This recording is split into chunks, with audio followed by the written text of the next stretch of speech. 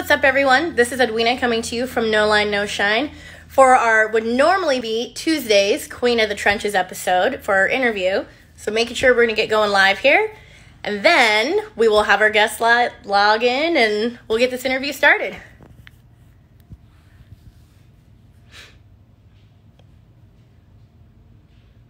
Hey everyone, thanks for joining us. We're just getting the interview ready to go here. Coming to you live from No Line No Shine for our Queens of the Trenches segment.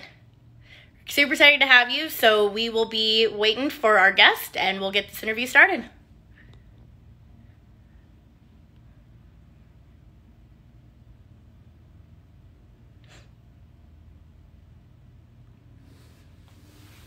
Hey everyone, this is Edwina, just waiting for our guest to join, and then we will get everything started for this interview.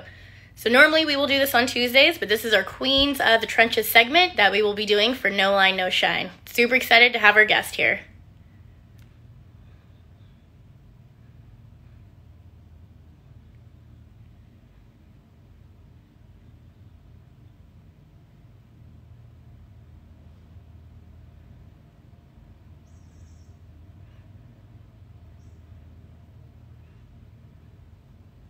And just waiting for our guest to log in here as we are going live for our Queens of the Trenches segment as part of No Line, No Shine. As soon as she gets on live here, I will get this started. Looking forward to a good interview though.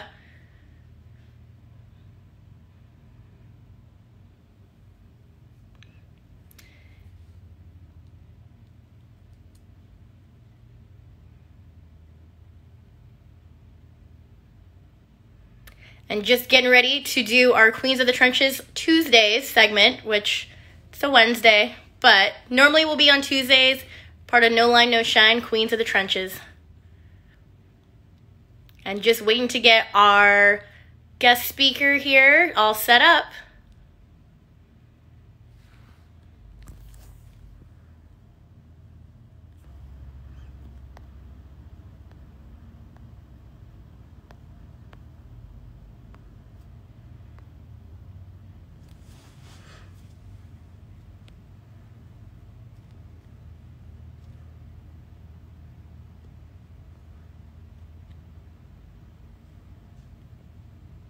All right. Here we go. All right. So we have our guest here, and let's see if she will send me. There we go. We got a request coming through. Let's get her on. Let's get this interview started for Queens of the Trenches Tuesdays, even though it's Wednesday. We understand that.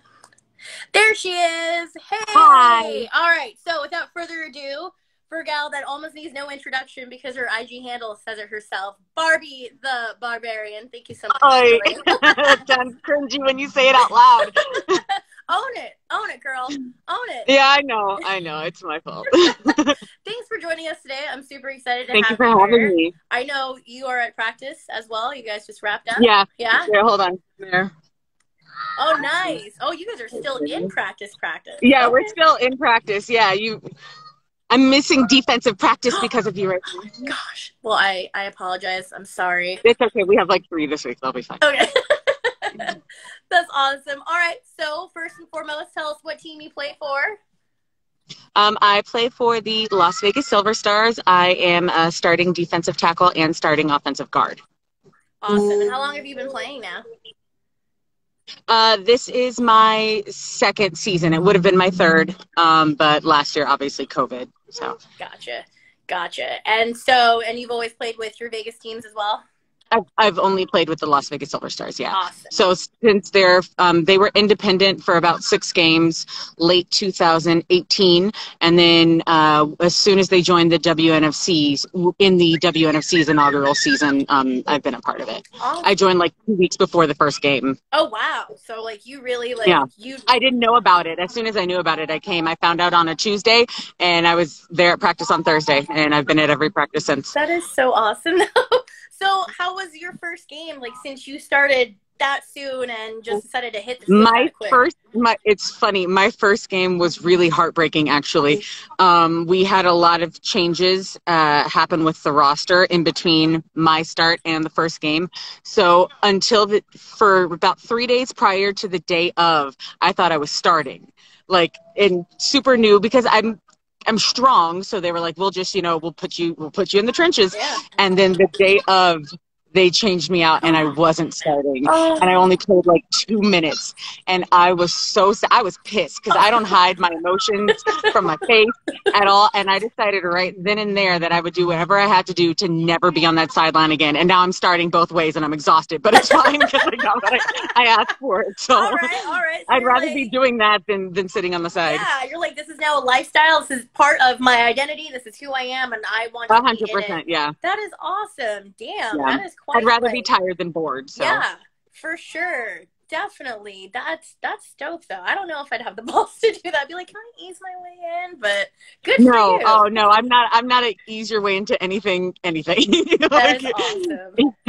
There's there's nothing subtle about me.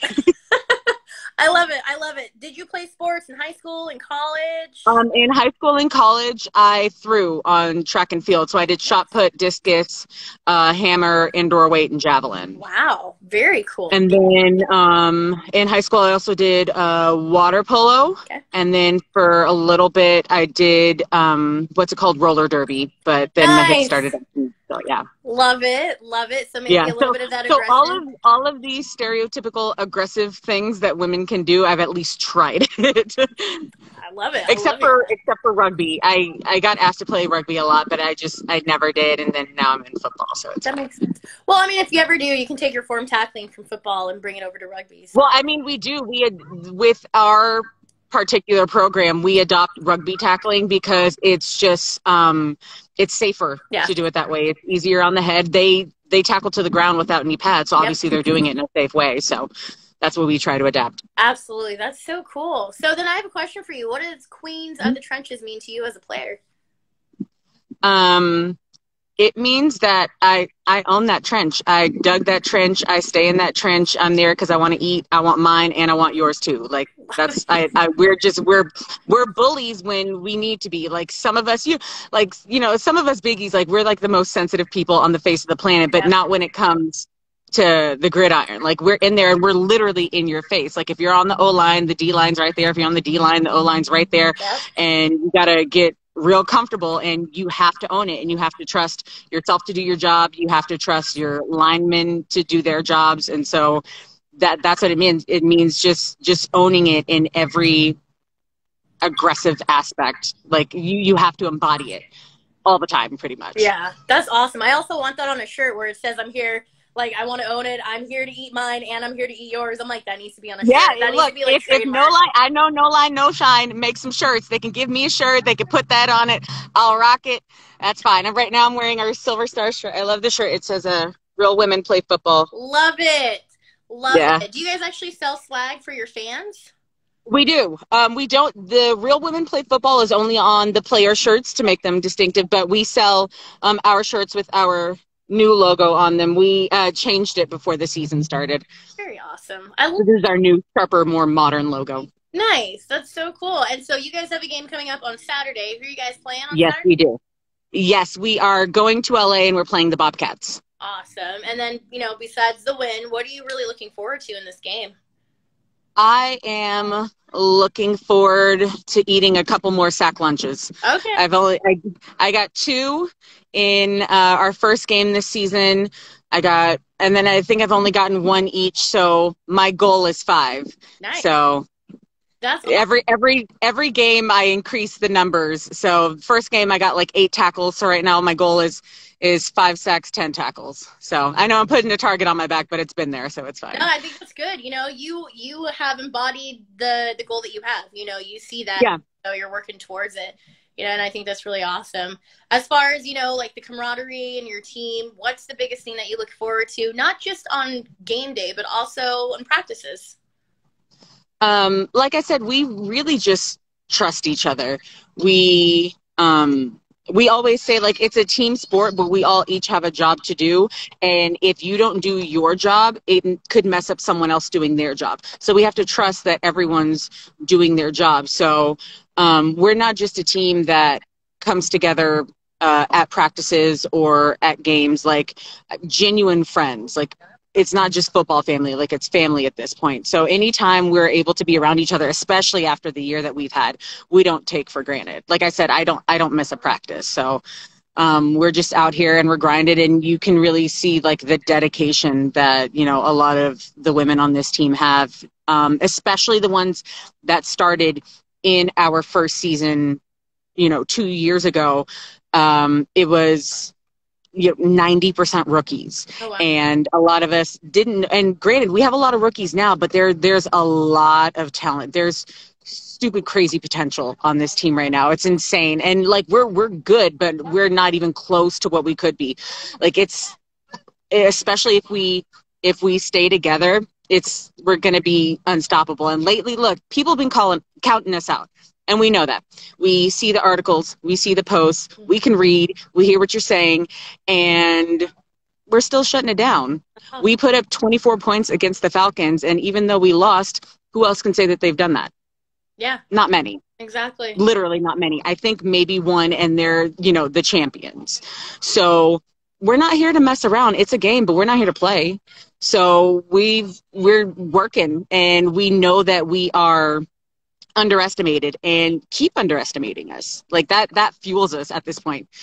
Um, I'd rather people not know what to expect and every time like we're watching film and someone's commentating they're like whoa how did what it like our coaching staff coach lee's brilliant we have uh, carrie the owner she coached us last year and she's helping coach too we have like three four now uh, decade veterans oh. on our team that are still playing. So they're not only inputting their wisdom, but they're out there on the gridiron doing it like their first day. Well, not their first day, maybe like their third year. Like they're still good, is what I'm saying. So, you know, they can they can talk, but we walk and we run and we run them over. Nice. So it's fine. I love it. I love the confidence and I love hearing how much love you, have, to be. How could you not be confident yep. in a contact sport? That's true. I'm a big girl and I have to do like big moves. So how am I going to be starting starting guard and starting tackle and be timid? Yeah. It doesn't make sense. Like I'm starting for a reason. And that's nothing against anyone else that plays, but like you put in the work, you get where you want to be. Like I said, I'm not going on that sideline. I'm just not. So you you work for it and you have you have to be confident. And I'm this is probably the most confident thing I am. I'm in. like you got you got mom guilt like crazy. You're working jobs. You yeah. got like friendships and relationships, and you're like, I don't know what I'm doing. What is life? And then you put on pads and you're like, I'm a chick. So yeah, like yeah. that's just how it has to be. Yep. It's just it. how it has to be. And it may be a persona, it may be, you know, whatever, but that's fine. It, it, it is, it's there when it counts. I love it. Well, and I'm looking at all the comments that are coming through. I see Antonia saying that's my teammate. I see. Yeah, Antonia, she's on our team, but her and her sister Drew are based in California. Okay. So yeah, we really appreciate them. They come out to uh, the weekend practices and then they come out for the games. That's awesome. See, and that's yeah. what I love hearing. It's that it's the passion. It's not just mm-hmm. okay. Mm-hmm. I'm here to play. Oh yeah, if you, know, you, want it, you make it happen. Absolutely. They're and they're not even the only ones that come from California. We have another teammate that named Kylie that comes from California, and like, like, like I said, if if you want it, you get it. And what's stopping you? Nothing. Love it. I love it. Like we'll we'll sleep on our couches. We'll like, and we come together. so it's if the team was if you know knock on wood, God forbid, Las Vegas for some reason couldn't be, we wouldn't disband. But if Las Vegas for whatever reason, oh Lord, it's practice and something good happens. Um, but uh, say for some reason we couldn't be in Las Vegas and we had to be in like Barstow. Mm-hmm. We'd go to Barstow. Yeah. We wouldn't have as many practices and some of us would be grumpy and we'd carpool like nobody's business, but we'd make it happen.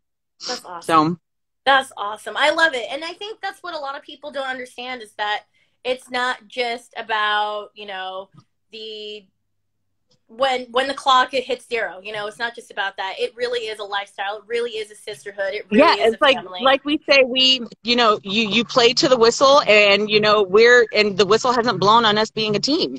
Like it, it's not going to for a minute. It's only we're only going to get better. Like you, I can't explain how much potential everyone here has. And we always say like the people and in, myself included, like there are people that are starting, but that's not permanent. yeah, Like if if you want to play, you fight for your spot. Granted, I'm gonna still fight to keep my spot, yep, but if you want it, come and get it. yep. At least try. So I love it. I Yeah. love it. You got me all hyped it's- up. Now I'm like, now I want to see how the season I'm- goes. hype AF all the time about my team. All But the I love time. it. It's good. That's how it When it comes to football, I talk a lot of shit. I love it. it is what it is. It's a passion. So It is. like and and so you guys have your game coming up on Saturday, and then you Yeah. kind of all got to buy with Memorial Day weekend. How do you feel like the rest of the season's going to go for you guys? Um, I think we'll be successful. Um, I right now we are two and one. I see us ending the season five and one. Okay. Um, and uh, I see probably one more like blowout, to be honest. Um, and you know, we're all students, and we never stop studying. Uh, we have game, and we're watching game like crazy. Our coach is he's been doing this for so long. He's so intelligent. Um, in the game of football, he has so much knowledge, and he is so good at what he does that he's able to say like i bet this is going to happen and it does That's awesome. and we don't know why Yeah. we, we we can't question it he says it we're like okay it doesn't make sense and then we're like oh damn like It he- happened.